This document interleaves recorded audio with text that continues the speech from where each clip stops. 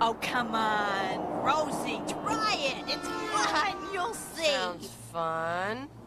You hold the balloon to your lips, and then you suck in the helium.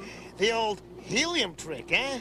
and when you speak, you sound like some alien from outer space. Go ahead, try it. Alien from outer space, huh? Okay, here goes. Hey, hey, Maurice, shh, quiet. I think we've been invaded by creatures from another planet.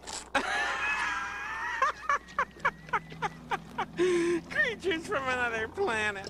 Right.